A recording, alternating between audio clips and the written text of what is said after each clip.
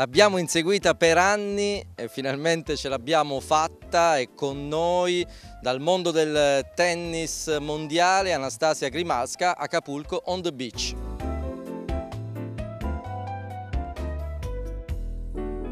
Anastasia, dove sei stata in tutti questi anni? Ti abbiamo inseguito e non siamo mai riusciti ad averti qui, ma non perché tu avessi detto no, ma perché eri sempre in giro per il mondo. Sì, questi anni ho fatto tantissimi tornei e poi quando, nelle settimane in cui mi allenavo eh, andavo via mm, il lunedì e tornavo il venerdì. Voi fate la trasmissione lunedì e quindi non c'è mai stato modo di fare questa intervista. Noi registriamo abitualmente il lunedì, per te avremmo fatto qualsiasi eccezione, però non ci siamo riusciti. Ci riusciamo eh, adesso Anastasia Grimalska, per chi non lo sapesse, eh, è una pescarese di adozione vera perché ormai tu ti senti pescarese al 99% pur essendo nata in eh, Ucraina a Kiev. Sì, eh, i miei genitori si sono trasferiti quando avevo un anno e mezzo qui con me e quindi mi sento pescarese e ho sposato anche un pescarese, quindi sì dai, sono abruzzese. Luca Romano, eh, possiamo inquadrare il pescarese per favore? Possiamo inquadrare un attimo? Lo so che ti metto in difficoltà il pescarese, lo inquadriamo, eccolo qui Stefano. Stefano, non pensare di essertela scampata perché tra poco ci devi dire alcune cose, no? Eh, poi c'è altro pubblico qui perché questa è un'intervista molto attesa. C'è Fernando Enrichi, c'è Teresa, insomma, eh, poi ci sono un po' di ragazzini che ti chiederanno autografi dopo perché effettivamente possiamo dire, Anastasia, che tu sei un personaggio un po' schivo, introverso, eh, ma sei realmente, lo diciamo noi, la tennista più forte che ovviamente l'Abruzzo abbia mai avuto in tutti i tempi. Di questo ti rendi conto, penso, in maniera molto evidente. Sì, eh, giocando da tanti anni nel circuito mondiale... sì, ma non è detto, eh, perché pure io posso mettermi a giocare da qualche parte, ma non sono così forte. Eh, eh, nessuna tennista, forse solo Alice Matteucci è riuscita ad arrivare a quelle quote di classifica, non ci è riuscita, ma si è avvicinata. Altre no. Sì, effettivamente mm, per ora sono l'unica ad essere stata mm, nella duecentesima posizione e mm, ora spero fortemente in mia sorella che continui la tradizione di famiglia almeno. È una tradizione importante quella della famiglia Grimasca perché papà Sergei ha giocato a tennis ed è un eh, conosciuto maestro, eh, mentre la sorella piccola Victoria eh, ci sta provando no? a emulare le tue gesta. Eh, Victoria che caratteristiche ha? È simile a te in qualche modo oppure è diversa? No, mm, diciamo che è il mio esatto opposto, eh, sia a livello fisico, eh, tecnico che mentale. Eh, io quando avevo la sua età ero molto timida, correvo tanto, ehm, tiravo abbastanza piano, invece lei è il mio contrario, appunto tira fortissimo, però molto nervosa, e, sente molto la partita, quindi abbiamo caratteristiche diverse vedremo. ciò vuol dire che tu la partita adesso hai imparato un po' a, eh, a dominarla dal punto di vista mentale, ci stai riuscendo? No, non è facile. Sì, um, ho imparato un po' a gestire le emozioni, ci ho lavorato tanto anche con, con diverse figure eh, diciamo, professionali, quindi sì, riesco a gestire meglio la partita e le sensazioni. Eh, tu hai un fisico, diciamo, normale, poi la vediamo anche in piedi non vi preoccupate. Eh, e devi spesso battagliare contro atlete che anche dal punto di vista fisico, oltre che tecnico, sono, sono debordanti. No? Come si riesce a colmare questo, questo gap? Ah, eh, bisogna sempre allenarsi duramente. Cioè, ogni tennista, atleta ha varie caratteristiche io magari ho una buonissima resistenza ma non sono molto rapida e le altre ragazze invece hanno tanta potenza ma mm, appunto poca resistenza quindi sempre, bisogna trovare un equilibrio per eh, battere l'avversaria e vincere più partite possibili.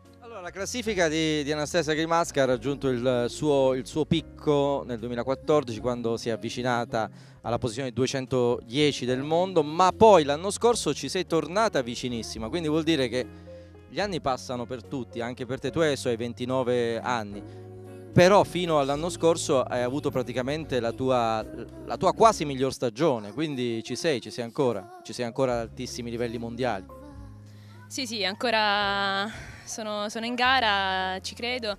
Eh, sì, dopo aver eh, raggiunto il mio miglior ranking, cioè 213 al mondo, e dopo ho avuto un infortunio, sono stata ferma 7-8 mm, mesi per epitrocleite al gomito, quindi ho ricominciato comunque con una classifica molto inferiore, ho dovuto um, appunto, allenarmi tanto e lavorare per tornare almeno al ranking precedente.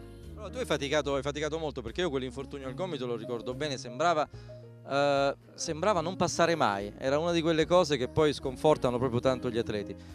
Però ti sei tolta una grande soddisfazione proprio l'anno scorso eh, vincendo lo scudetto. Tu sei tesserata per una uh, società piemontese, Beinasco, eh, hai vinto lo scudetto all'età di 28 anni. Sì, abbiamo vinto lo scudetto a Lucca, una bellissima emozione. Que un altro tipo di competizione mm, con la squadra rispetto ai tornei che gioco per 20-30 settimane l'anno e quindi sì, è stata mm, una bellissima esperienza che abbiamo dovuto giocare mm, ogni domenica per eh, due mesi e poi la finale che abbiamo vinto. C'è una tennista che somiglia a Anastasia Grimasca, in realtà sono le altre che si ispirano a Anastasia, però per farlo capire anche a chi di tennis non si occupa, no? per capire, perché tu sei un atleta molto... Uh, mo molto quadrata, molto, molto, impostata, mentre magari ci sono atlete che hanno altre caratteristiche. C'è una tennista che, che, ti somiglia, di quelle proprio, dai, top, top 10? Sì, diciamo un po' di caratteristiche simili alla Alep, che appunto ha vinto, ha vinto Wimbledon, e alla Wozniacki, mm, un po' come mm, resistenza la Schiavone che non gioca più però è stata una grande campionessa, l'Errani, queste giocatrici. Per la cronaca l'Alep ha vinto di recente Wimbledon e ha battuto la, la Williams e, quindi vuol dire che a volte l'aspetto fisico, per fortuna l'aspetto fisico non, non è determinante, non deve essere determinante nel tennis fortuna dico, perché altrimenti vincerebbero solo quelli giganteschi, quelli che hanno delle leve lunghe e che quando ti mettono la prima di servizio non riesci più a giocare. Sì, diciamo che tra uomini e donne, mm, diciamo, noi donne siamo un po' più uh, favorite, eh, nel senso negli uomini con un fisico incredibile mm, hai più facilità a raggiungere magari varie mm, vittorie. Nelle donne per adesso, per ora il fisico conta, però ci sono tanti altri aspetti come appunto cioè bisogna allenarsi tantissimo, secondo me l'Alep è stata brava e mm, anche a gestire le emozioni rispetto agli altri slam. Enrichi, Fernando, preparati una domanda perché poi andiamo a fare la passeggiatina e voglio anche la tua domanda Anastasia, d'accordo? Stefano, marito, poi vengo anche da te, quindi preparati, non fate finta di nulla perché ve lo sto dicendo in anticipo. Stiamo per farci la passeggiatina. Io ricordo un match di qualche tempo fa, gli internazionali di Roma, bellissimo contro la campionessa olimpica in carica eh, Monica Puig. Sei andata vicinissima alla vittoria, o perlomeno sei andata vicinissima a impegnarla allo stremo delle forze. Forse una delle tue partite più belle, secondo me. Sì, dopo aver fatto le prequalificazioni appunto ho, ehm, ho vinto la wild card e ho giocato contro Monica Puig che ehm, lì al Foro Italico era non so se 60 o 70 al mondo. È una partita lottata, ho servito bene, ci sono stati tanti scambi lottati, però lei avendo un'esperienza maggiore della mia anche a livello un po' di ritmo è superiore, avendo fatto più partite con giocatrici più potenti, alla fine mi ha battuta. A Kiev non c'è il mare, no? Abbiamo studiato tanto, no? lo sapevi tu Fernando? Non stavi ascoltando, va bene, ok, a Kiev non c'è il mare. C'è il fiume. Qui c'è il mare, andiamo.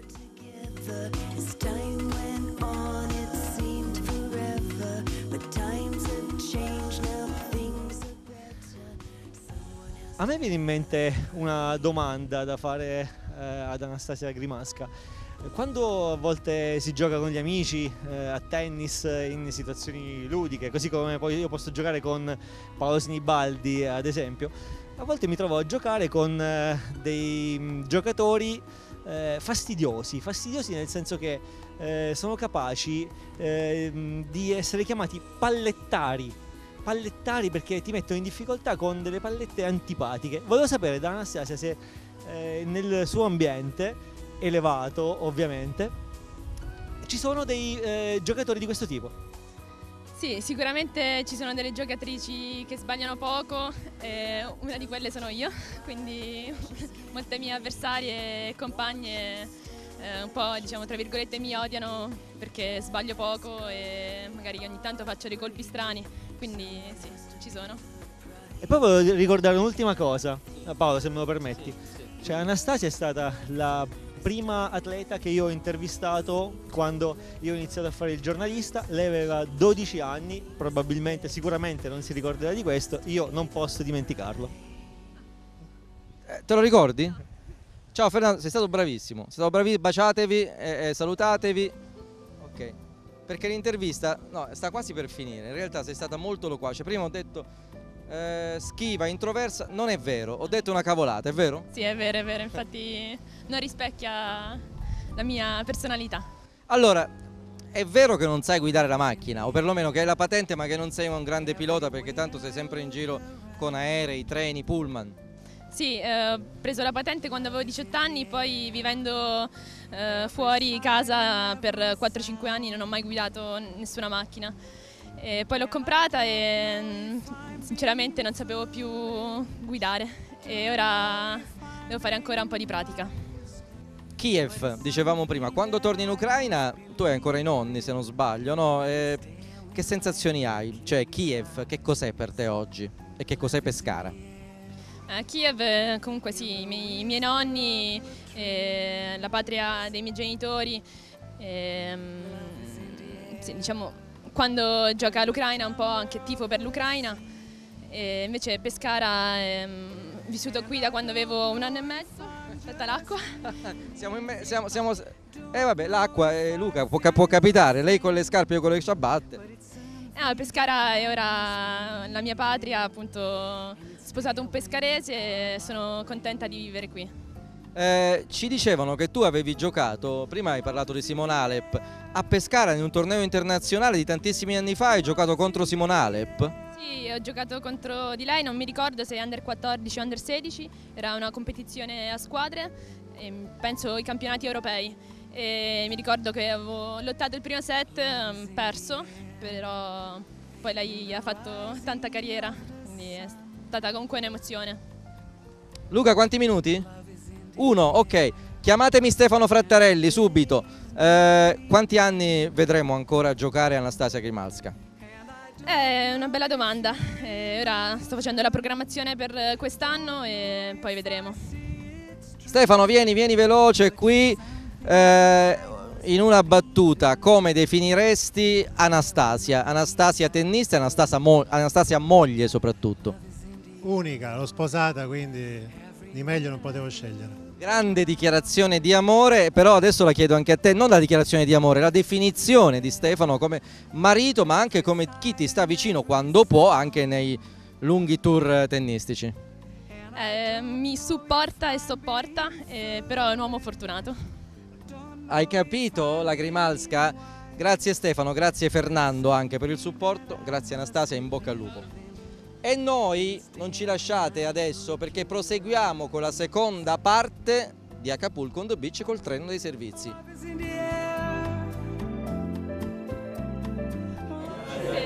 no, prima siamo.